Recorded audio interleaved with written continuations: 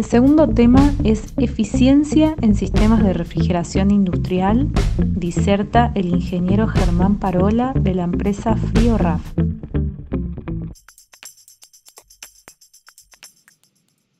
Buenas tardes a todos, eh, bienvenidos al ciclo de conferencias de refrigeración, eh, eficiencia en refrigeración. Nosotros justamente hoy vamos a estar charlando sobre eficiencia en sistemas de refrigeración, sobre aspectos, eh, diría yo, fundamentales, eh, si bien son los primeros aspectos quizá básicos, digamos, de fundamento, pero no por ello eh, poco importantes, al contrario, considero que son los más importantes y más determinantes este, a la hora de definir la eficiencia que tendrá nuestro sistema. Si hablamos de eficiencia, eh, podemos clasificar eh, en tres aspectos, eh, en tres grandes aspectos. por ejemplo, decisiones de diseño, que son las decisiones que tiene que tomar el proyectista, el diseñador o el equipo de ingenieros al momento de este, definir los parámetros, elegir el refrigerante, elegir las temperaturas, este, ver si hacemos una compresión en simple o doble etapa, qué tipo de evaporadores voy a poner, qué tipo de condensadores voy a poner, eh, cómo lo voy a controlar, eh, diseñar el, piping, eh, qué tipo de motores eléctricos voy a poner, voy a usar variadores de frecuencia o no, voy a usar ventiladores EC de nueva tecnología. Todo eso son aspectos y decisiones que tengo que tomar en el momento que estoy diseñando el sistema de refrigeración.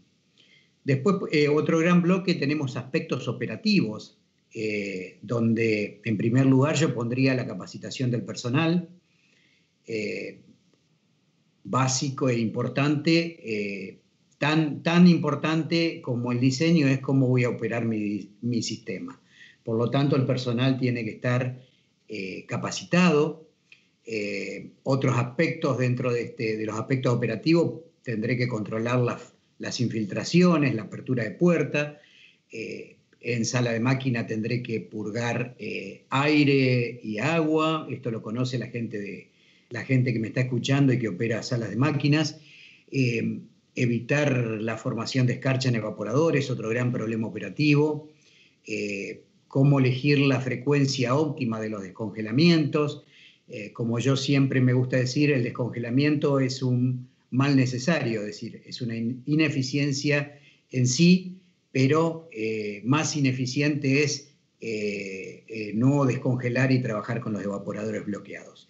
Entonces, lo importante sería minimizar la infiltración de aire, aspecto que lo podemos tocar en otra, en otra charla. Eh, otro tercer bloque, ya vimos decisiones de diseño, vimos aspectos operativos y el último bloque eh, que quería mencionarle es eh, aspectos de mantenimiento, que también son importantes si yo tengo un sistema diseñado eficientemente, lo opero bien, tengo que mantenerlo bien. Por lo tanto, tendré que tener un plan de mantenimiento, este, hacer, por ejemplo, tratamiento de agua de los condensadores si es que condenso por agua, etcétera, etcétera. Podríamos enumerar muchos más. La siguiente filmina me resume estos tres grandes bloques, pero me hace una pregunta. Eh, ¿Por dónde empiezo? ¿Por las decisiones de diseño, por los aspectos operativos o por los aspectos de mantenimiento? Obviamente, vamos a comenzar este, por las decisiones de diseño. Este, y básicamente, aquí vemos en la siguiente diapositiva, que eh, los aspectos eh, fundamentales o básicos de diseño son los que resalto ahí, los primeros tres. Eh, la primera decisión que tengo que tomar es qué tipo de refrigerante voy a usar. hoy hay una, digamos, una vuelta a los refrigerantes naturales por los problemas ecológicos, por el problema de nuestro planeta, sustentabilidad, y además porque la tecnología ha avanzado mucho y refrigerantes que antes este, eran tóxicos hoy se pueden manejar, lo siguen siendo obviamente, pero hoy con la tecnología y las normas de seguridad se pueden manejar de una manera totalmente segura y aprovechar la eficiencia y el cero daño al medio ambiente. Ejemplo, amoníaco, el refrigerante más, más eficiente de todos, este, el más difundido en la industria. Hoy, digamos, es un refrigerante que se utiliza y, vuelve a tomar un empuje importante, sobre todo en los países más desarrollados, este, por su gran COP y su gran eficiencia, la máxima entre todos los refrigerantes. Eh, tendré que ver si tengo alguna restricción, si lo debo combinar con un refrigerante secundario, este, o eh, tengo que tomar alguna otra o elegir, no me queda la opción que ir a otro, a otro refrigerante. Eh, es una decisión de diseño. nos vamos a enfocar en el resto de la presentación, en otro momento vamos a detallar o a entrar más hondamente en, la comparativa de refrigerantes, pero hoy nos vamos a enfocar en estos dos puntos marcados en rojo y resaltados en rojo, que son la temperatura y presión de evaporación y la temperatura y presión de condensación. Aspectos fundamentales y decisiones fundamentales de diseño una vez que yo elegí este, mi refrigerante y eh, el modo con que voy a condensar, qué voy a utilizar, si voy a utilizar agua o aire para condensar, depende la decisión, los recursos con que cuente y la decisión es una decisión geográfica también. Pero sobre esos dos aspectos quiero hacer foco en el día de hoy. Bien, esto es un ciclo de refrigeración industrial, este, ya conocido por todos ustedes. La línea celeste abajo es la evaporación, donde absorbo calor de la fuente fría. Este, ese, ese, líquido entra, entra, al evaporador, se evapora y sale eh, como vapor eh, saturado eh, o levemente sobrecalentado y pasa al compresor, que es la, la, evolución en línea roja, donde aumenta este, la presión y la temperatura, obviamente de descarga, es, son vapores sobrecalentados. Eh, luego del compresor pasa al condensador, que es la línea negra, eh, donde tenemos un desrecalentamiento en la primera etapa de los gases, en la primera parte del condensador, luego se forma la primera gotita de condensación hasta tener 100% líquido saturado en la eh, curva de la campana. Ese líquido a alta presión y a temperatura ambiente eh, lo voy a expandir en una, válvula, en una válvula de expansión, como ven a la izquierda, para bajarle la presión eh, al refrigerante y por supuesto también baja la temperatura y está listo para entrar al evaporador. Bien, ahí también se ve en el diagrama presión-entalpía, eh, me marca la entalpía, el delta de entalpía del efecto frigorífico, eh, ahí está eh, marcado abajo, y el delta de entalpía del trabajo de compresión. La filmina siguiente nos define eficiencia, la eficiencia en un sistema de refrigeración está dado por, este, como toda eficiencia, por el objetivo, por un lado, el objetivo que queremos lograr, este, versus o dividido eh, los recursos que tenemos que poner en juego.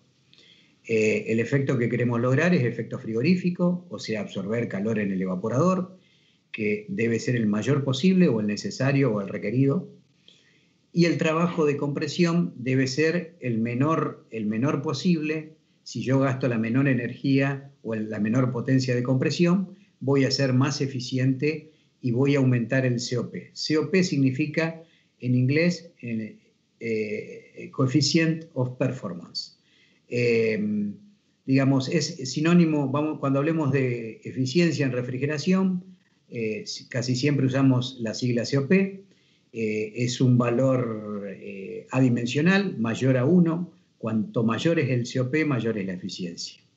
Siempre es mayor que 1. ¿Qué parámetros afectan eh, la eficiencia de compresión en primera instancia? La temperatura y presión de condensación que yo elija, por eso lo asocio a un manómetro. La gente de sala de máquinas conoce y permanentemente está mirando o chequeando qué presión de condensación tenemos. Este, si hay un sistema automático de control, mucho mejor. Este, y eh, la temperatura de evaporación es, es otro de los parámetros, yo diría el parámetro de diseño más importante de todos.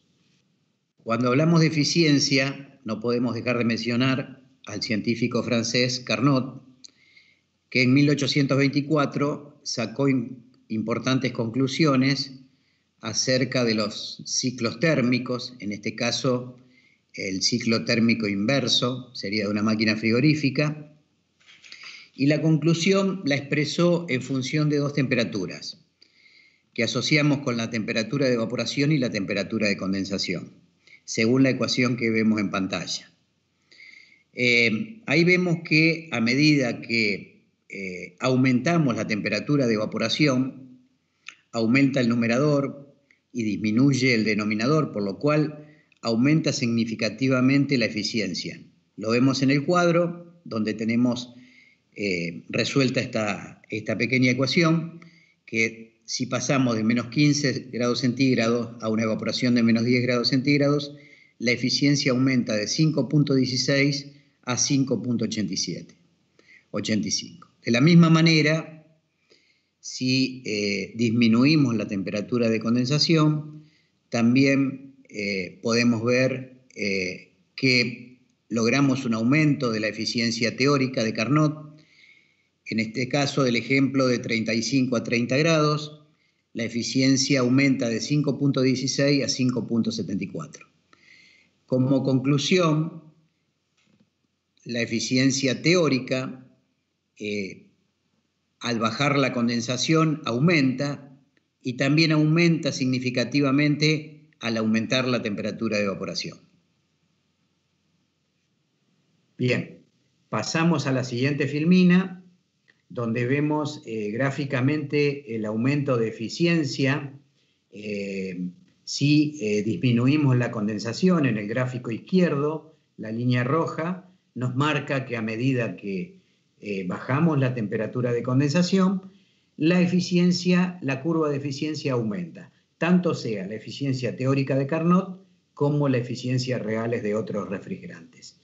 En el gráfico de la derecha podemos apreciar en cuanto crece la línea azul, en cuanto crece la temperatura de evaporación, este, aumenta tanto la eficiencia teórica de Carnot como así eh, la eficiencia eh, de los refrigerantes reales. Fíjense que en todos los casos la línea roja es el amoníaco, eh, que siempre tiene una eficiencia por encima del resto de los refrigerantes. Estos son eficiencias, eh, aquí se, ve claramente que siempre estoy este, por debajo de la eficiencia de Carnot en los ciclos reales de compresión. Quiere decir que si ustedes hicieron la cuenta de su eficiencia o calcularon el COP y les da mayor a la eficiencia de Carnot. Este, no es que están descubriendo, eh, lamento decirles que no es que están descubriendo o están siendo más eficientes que Carnot, sino que este, alguna cuentita está mal hecha. Eh, vamos a la siguiente diapositiva, donde tenemos un ejemplo numérico, vamos a ponerle números a esto. Eh, a la izquierda vemos si un ejemplo, si disminuimos la temperatura de condensación manteniendo la evaporación constante, por ejemplo, a menos 40, si disminuimos la temperatura de condensación de 35 grados centígrados a 30 grados centígrados. Esto es un día de verano, obviamente. Vemos que la eficiencia para 35 grados de condensación o el COP es de 1.44. Para 30 grados la eficiencia aumenta a 1.64 bajando 5 grados centígrados la, condensación, eh, la eficiencia aumentó un 14%. Eh, importante el aumento de eficiencia. Vemos qué pasa con la evaporación, más incidente, quizás le dije que era, es el aspecto más importante para definir la, eh, que más influye en la eficiencia en un ciclo de refrigeración. nuestro ejemplo lo hicimos considerando una temperatura de condensación constante y eh, variando la temperatura de evaporación para un sistema de congelado entre menos 40 y el ejercicio está hecho de elevarla, la propuesta, proponemos evaporar a menos 35, logrando la misma temperatura o el mismo efecto en el evaporador, eh, obviamente con menor delta de temperatura. Este, vemos que el COP aumenta de 1.44, que se corresponde con menos 40, a 1.8. Eh, es decir, un aumento de eficiencia por haber levantado mi evaporación en 5 grados de 25%. Ni hablar si combino ambos, ambos efectos, digamos, levanto la temperatura de evaporación este, y disminuyo mi temperatura de condensación, este, puedo combinando ambos, ambos efectos lograr un aumento de eficiencia de hasta un 40%. Valores que parecen exagerados, pero son reales. Eh, lo que pasa que este, para yo poder eh, lograr esa eh, disminución de 5 grados en la condensación, necesito poner equipos o condensadores de bastante mayor tamaño y para lograr un aumento de la evaporación eh, de 5 grados y tener la misma temperatura en el, en el aire, mi delta de temperaturas también disminuye y por lo tanto hace que los evaporadores también sean de mayor superficie. Es decir, ya nos vamos dando cuenta que tenemos dos formas o muchas formas de, diseñar un sistema eh, aquí le pongo dos ejemplos, dos, sistemas de refrigeración. La opción 1 es con una alta temperatura o una temperatura de condensación relativamente alta y una temperatura de evaporación relativamente este, baja. Quiere decir eh, que yo tengo, eh, voy a tener un condensador mm, normal a pequeño, un evaporador normal o pequeño y por lo tanto voy a tener, voy a requerir una compresión elevada, voy a necesitar eh, gastar mucha potencia de compresión. Aquí está dibujado, evaporador pequeño, condensador pequeño y compresor grande. Lo asocio, siempre el trabajo de compresión yo lo, lo asocio a subir una escalera desde una presión y temperatura de evaporación, que es el piso inferior, a otra eh, más alta que es el piso superior. Eh, la opción 2 es una propuesta de mejora de eficiencia donde bajamos la temperatura de condensación y levantamos la temperatura de evaporación, por lo tanto esa escalera va a ser de menor, de menor altura, eh, por lo tanto voy a consumir menor energía de compresión y voy a tener un compresor más pequeño. Claro, eso no es gratis tendré que invertir en un evaporador de mayor superficie y en un condensador de mayor superficie. Eh, vamos a ver eh, cómo resulta, cómo da el resultado de esta mayor inversión en superficie de intercambio de evaporadores y de condensadores para lograr el objetivo de consumir menos energía y poder achicar el trabajo de compresión.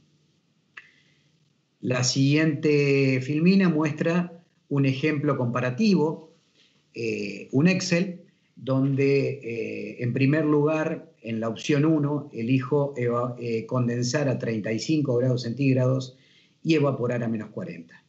En la opción 2, la propuesta es levantar 5 grados la temperatura de evaporación, o sea, evaporar a menos, menos 35 y condensar a más 30 grados centígrados.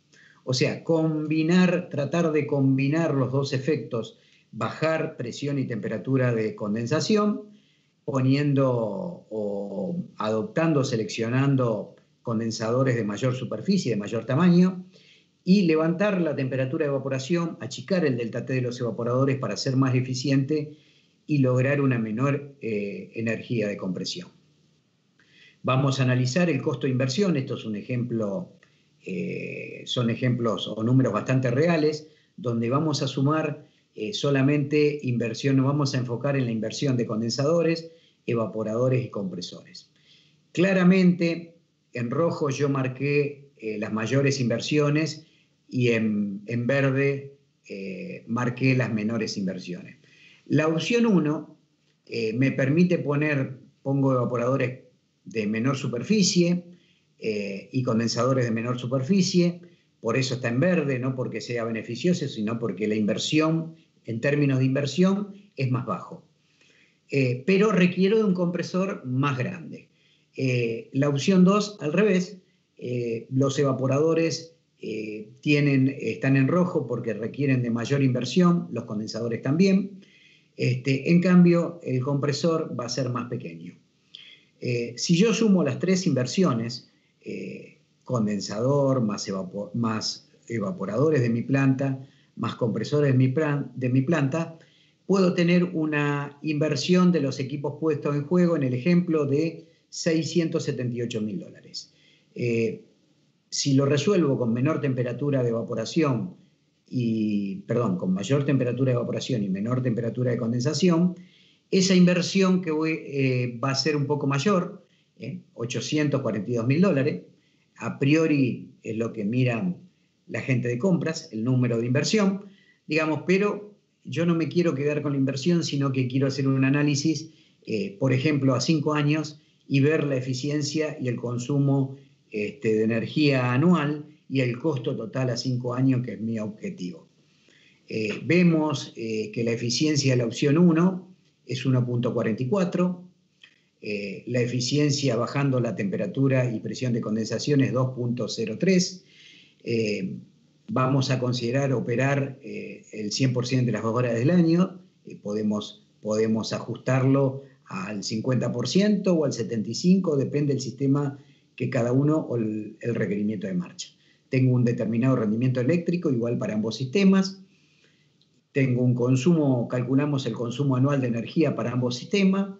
El costo de energía consideré el mismo para ambos sistemas por lo tanto, tengo un costo anual de energía de la opción 1 de 456 mil dólares y de la opción 2, este, donde bajo la temperatura de condensación y aumento la evaporación, de 323 mil dólares. O sea, la opción 2 tiene mayor inversión pero menor costo operativo. Vamos a ver los resultados en la siguiente filmina. Eh, cómo resultan los costos a 5 años, calculados a 5 años. O sea, el costo de inversión más el costo de operación de cinco años. Claramente, eh, a favor de la opción número dos, eh, tenemos un ahorro en cinco años de casi 500 mil dólares si operamos 100% este, a full durante todo el año. Lógico, esto está hecho para un sistema de 1000 kilowatts de refrigeración, es decir, estaremos hablando de una potencia instalada del orden de, de los 1000 HP. Este, para que tengan un orden de magnitud, este, y un ahorro anual de energía de 132 mil dólares. Eh, si calculo el recupero de inversión poniendo en juego costo de energía y costo de inversión, me da 15 meses. Eh, claramente aquí resumimos que la, opción 2 tiene mucho menor costo, si bien tiene una mayor inversión, eh, tiene mucho menor costo total operativo.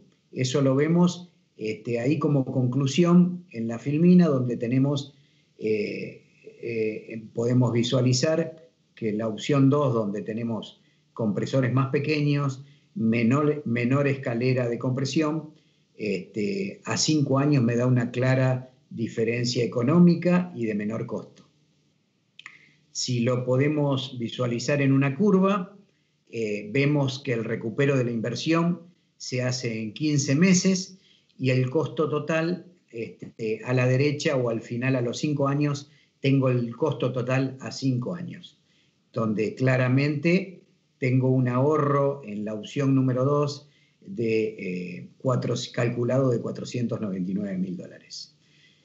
Eh, bien, ya llegando al final de esta charla, de los fundamentos de la refrigeración, el mensaje que le quiero dejar es que si yo eh, evaporo a mayor temperatura, voy a requerir invertir en más superficie de evaporadores, este, pero voy a tener un rédito de eficiencia y un rédito de energía, un recupero de energía eléctrica. De la misma manera, eh, si yo pongo más superficie de condensadores o condensadores más grandes, este, voy a tener una mayor inversión, pero voy a tener un recupero, un rápido recupero de, eh, voy a gastar menor energía de compresión.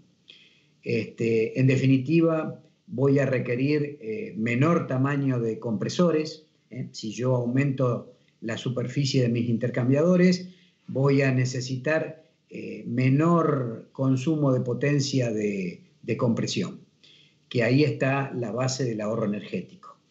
Bien, para finalizar el tema, con el mismo mensaje que empezamos, estas son las primeras decisiones fundamentales de diseño eh, hay muchas más de las que podemos seguir hablando, eh, de decisiones de diseño, de aspectos operativos o aspectos de mantenimiento. Esta es una charla que teníamos 15, 20 minutos como tiempo límite, eh, por lo tanto tenemos la posibilidad o la oportunidad de seguir investigando y continuar hablando de otros aspectos que hacen a la eficiencia de un sistema de refrigeración. Bueno, muchas gracias.